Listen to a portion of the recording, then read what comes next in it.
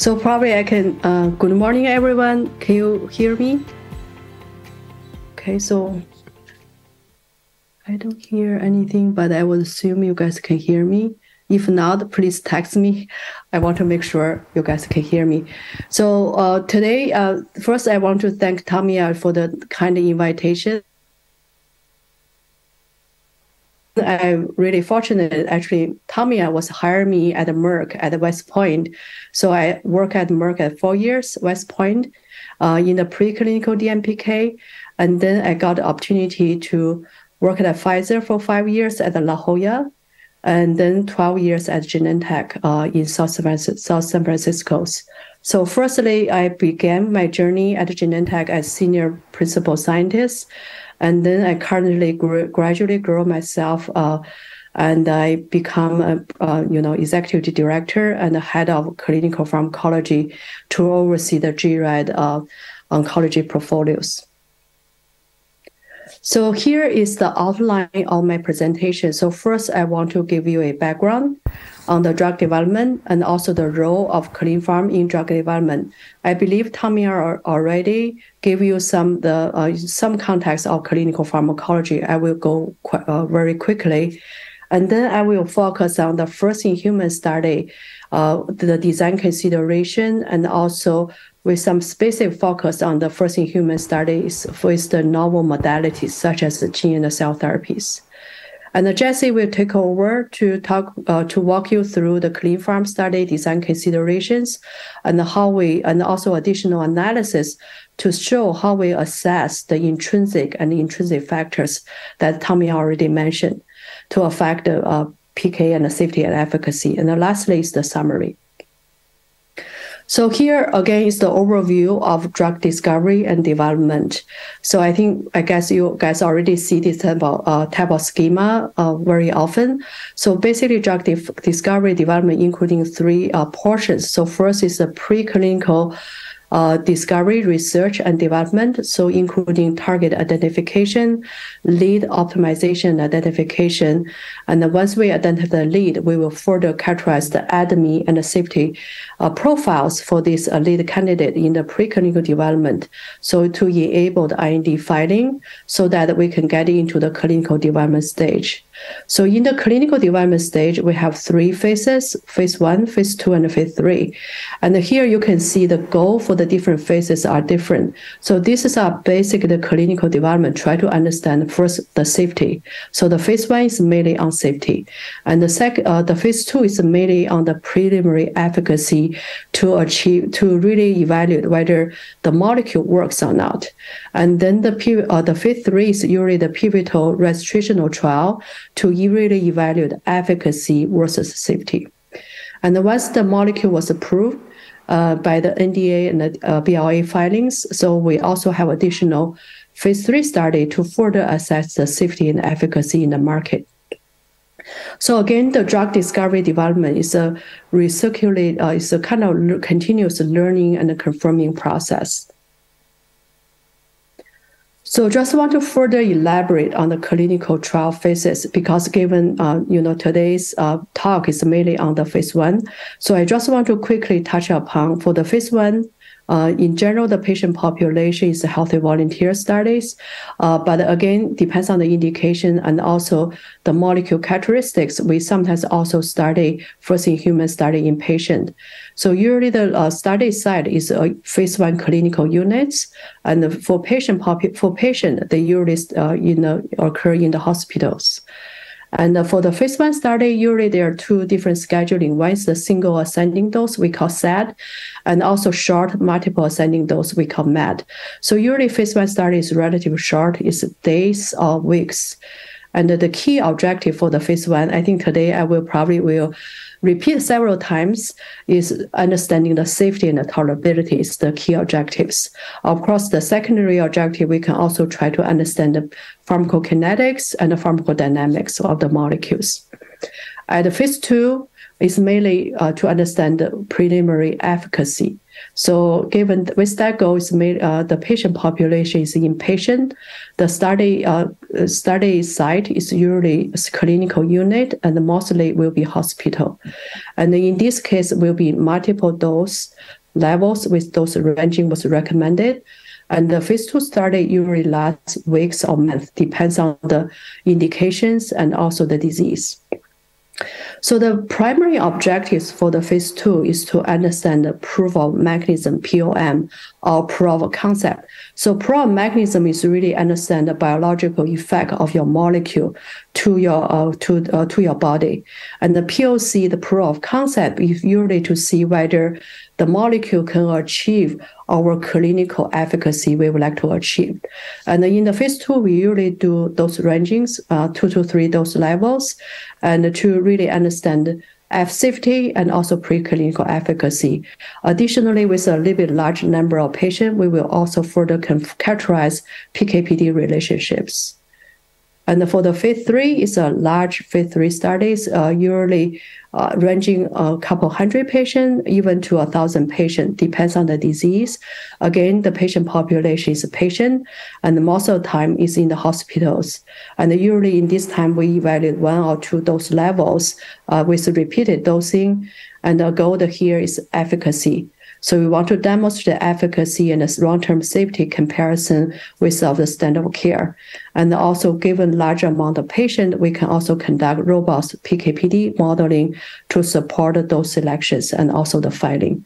So lastly is the phase four. Once we get approval. And again, we want to do phase three, uh, phase four study in patient population at approved dose levels.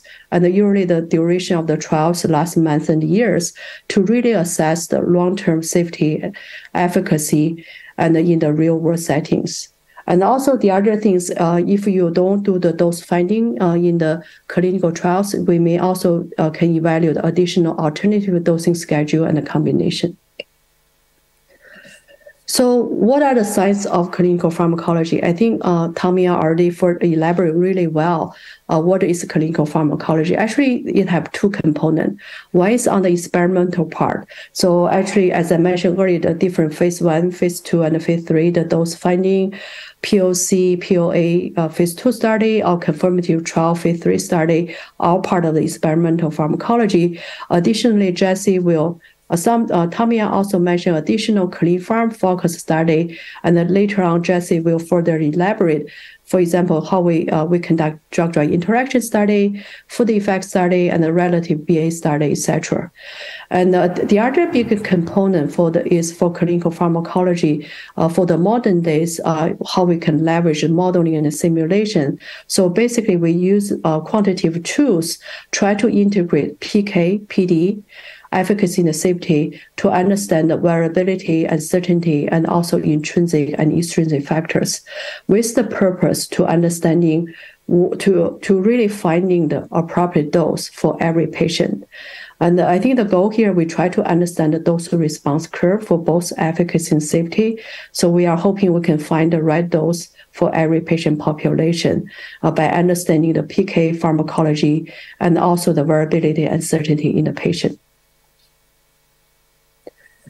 So I think Tamia also briefly touched upon, and here, uh, you know, how the ClinPharm can contribute to the drug development. So here I just showing one of the uh, uh, packet insert, which is using alectinib, which is one of the ALK oncology uh, molecules. You can see the one I highlight light blue. I think doesn't mean for you to really see the uh, small font, but the goal here is to say, you know, more than 50% of the package insert are actually provided by the ClinPharm studies and analysis.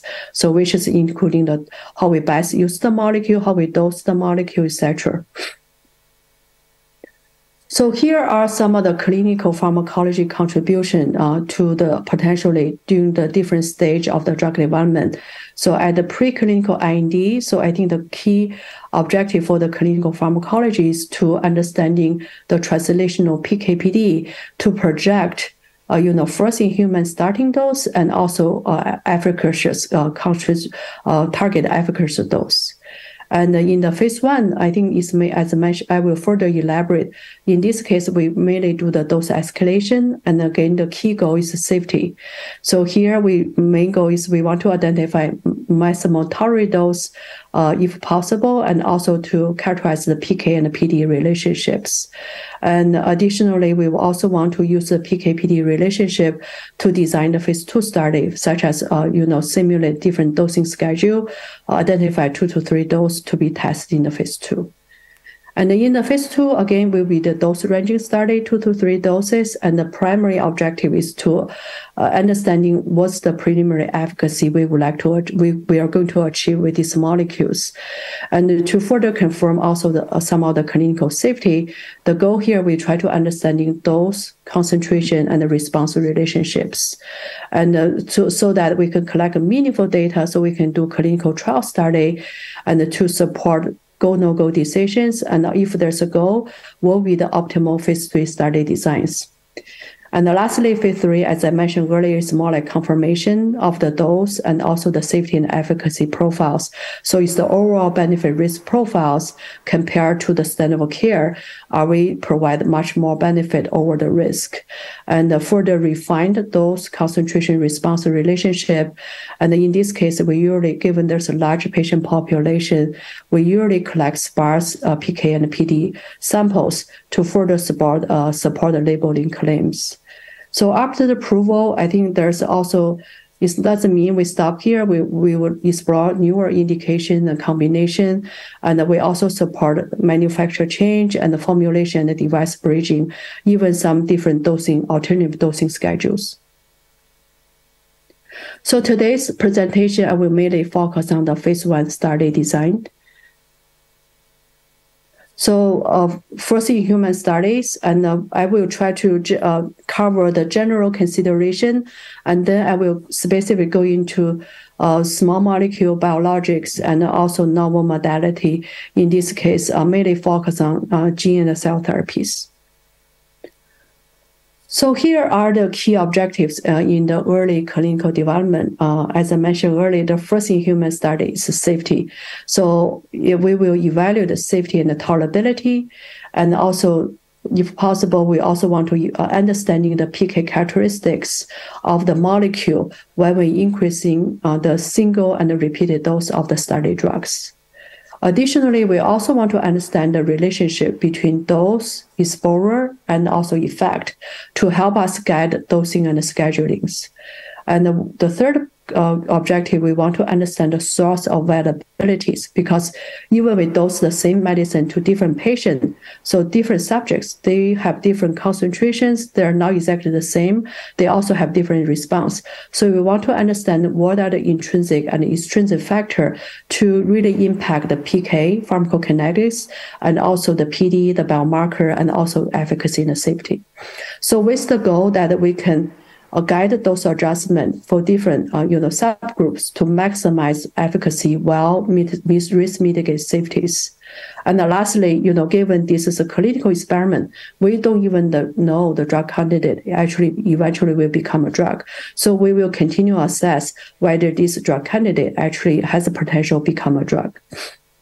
So there will be a lot of decision making whether we want to continue to do phase two or phase three, the go no go decisions based on the evolving clinical data.